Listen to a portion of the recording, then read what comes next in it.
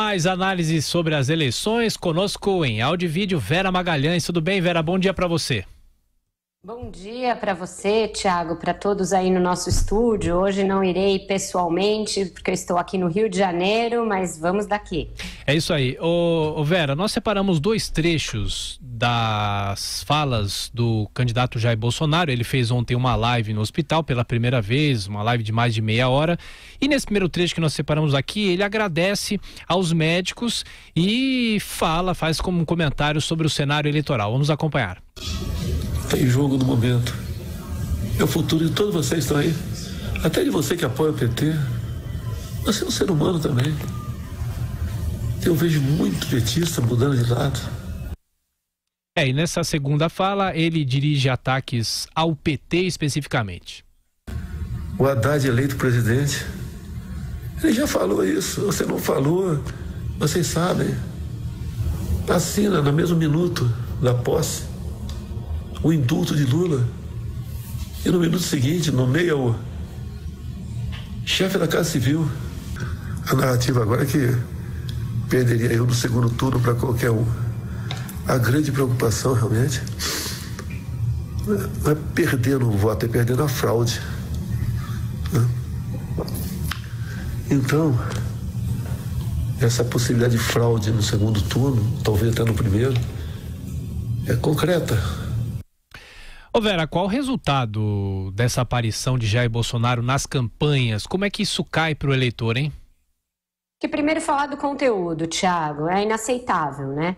Inaceitável alguém antes do processo eleitoral, ao qual se submeteu por espontânea vontade, de forma democrática e dentro das regras oferecidas, já falar em fraude. Eu acho que todo mundo que tem responsabilidade, imprensa, outros candidatos, o Tribunal Superior Eleitoral, o Ministério Público Eleitoral, tem de vir a público para acabar com isso, com essa mistificação. Não se pode.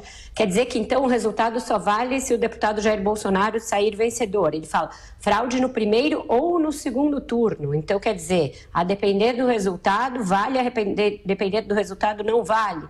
É a fala idêntica, com sinal trocado, à do PT, segundo a qual eleição sem Lula é golpe, eleição sem Lula é fraude. Não, eleição sem Lula é o correto, ele está preso não pode ser candidato pela lei da ficha limpa.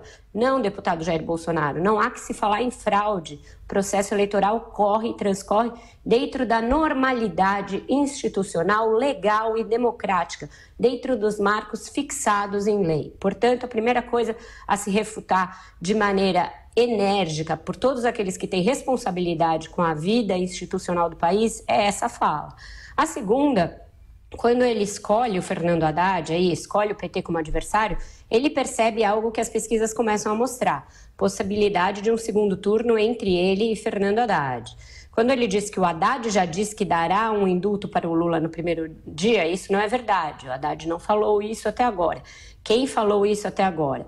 falou, o, o, governador de Minas Gerais, Fernando Pimentel, falou neste fim de semana, foi o primeiro petista a explicitar a coisa do indulto ao Lula, e falou o jornalista Breno Altman, ligado ao Zé Dirceu, também em artigo no fim de semana. É importante que se diga para que as coisas fiquem no terreno do fato e não do fake. É, quando ele escolhe é, esta disputa com Haddad e diz previamente que pode haver uma fraude, ele está chamando os seus eleitores para se manterem consigo e tentando atrair o voto daqueles indecisos. É uma pregação eficiente que o PSL vem fazendo desde quinta ou sexta-feira da semana passada. É uma pregação contra o voto útil, que é o que os seus adversários vêm fazendo. Ao chamar todos para uma vitória no primeiro turno, mesmo que estatisticamente difícil, e, e, já aventar essa possibilidade de fraude, ele se precaver contra o voto útil e evita é, que ele vá para outros candidatos. Ao contrário, ele está conseguindo, aparentemente, desidratar outros candidatos e crescer ainda no primeiro, primeiro turno. Então, está sendo uma pregação eficiente. A aparição do deputado Jair Bolsonaro nessa live, visivelmente debilitado, com uma sonda nasogástrica que ainda está drenando líquido, num sinal de que sua recuperação ainda é lenta, tive parente com sonda nasogástrica, e esse é um indicativo de que as coisas ainda estão se recuperando, é, isso mostra uma necessidade da sua campanha de expor o candidato, de mostrar o candidato aos seus eleitores, não deixar seus eleitores tanto tempo sem a presença daquele que é o principal, principal aglutinador de votos, o principal aglutinador da tropa. Então, a presença dele, mesmo debilitado, foi avaliada pela campanha, pela família, como necessária nesse momento que os adversários fazem um ataque especulativo contra ele. É, e do ponto de vista desta disputa com o PT, as pesquisas mostram que hoje em dia é mais equilibrado. Já foi uma vitória mais tranquila de Fernando Haddad e agora não é o que as pesquisas mostram, Tiago. É, e por falar em pesquisa, teve um levantamento telefônico feito pelo BTG Pactual que mostra um novo crescimento de Jair Bolsonaro. O que, que esses números apontam na sua avaliação, Vera? Apontou a eficácia, a meu ver, Tiago, dessa estratégia de massificar a coisa do vamos ganhar no primeiro turno, vamos ganhar no primeiro turno, massificar o número do deputado. Hoje vai ter, hoje é dia 17 e às 17 horas vai ter um barulhaço para o Bolsonaro, buzinas, sirenes, é, panelas. A ideia é massificar o seu número, algo que eles vêm fazendo nas redes sociais muito mais do que qualquer outra campanha, aliás. Então, o que, que a pesquisa, essa telefônica do BTG Pactual mostra? E por mais que a gente não confie na pesquisa ou ache que pesquisas presenciais são mais eficazes que as telefônicas, quando se compara a mesma pesquisa de uma semana para outra, que é uma base estatística importante, ainda que os números não sejam é, corretos por ser telefônica, etc., mostra um crescimento fora da margem de erro do deputado Jair Bolsonaro.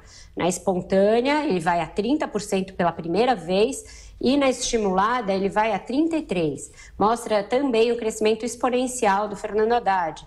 De 8 para 16, ele dobra suas intenções de voto. Apesar desse crescimento do petista, o Ciro Gomes ainda oscila positivamente.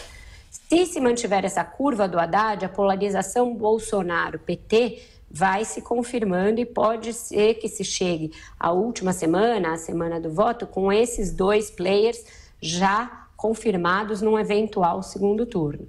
E o que, que as projeções de segundo turno mostram? Que essa campanha do Bolsonaro também tem sido eficaz para diminuir aquela desvantagem que ele tinha em relação aos adversários numa segunda etapa da disputa. Ele já vence todos, com exceção do Ciro Gomes, por essas projeções do BTG. As do Ibope e do Datafolha também vinham mostrando que ele vinha ganhando terreno nas disputas de segundo turno. Isso é combinado com uma diminuição da sua rejeição e um aumento daquele voto cristalizado. Hoje, 82% dos eleitores do deputado dizem que estão convictos do seu voto. É um percentual altíssimo, muito maior do que o de qualquer outro adversário. Então, Tiago, o que as movimentações do fim de semana, a movimentação nas redes sociais e as pesquisas mostram é que a pregação do voto útil acabou tendo um efeito contrário.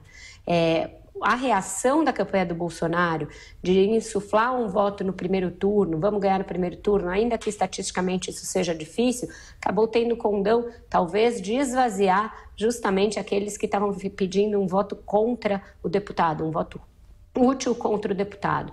Então a gente vai ter que analisar aí como é que as campanhas vão se reorganizar nas três últimas semanas, são menos de três semanas, são 20 dias daqui até a eleição, para ter alguma chance de se contrapor a uma polarização Bolsonaro-PT que começa a ficar mais nítida a partir de agora. Vera Magalhães, estaremos te acompanhando ao longo da programação da Jovem Pan. Bom trabalho para você, até mais tarde. Um ótimo trabalho para vocês e até mais tarde.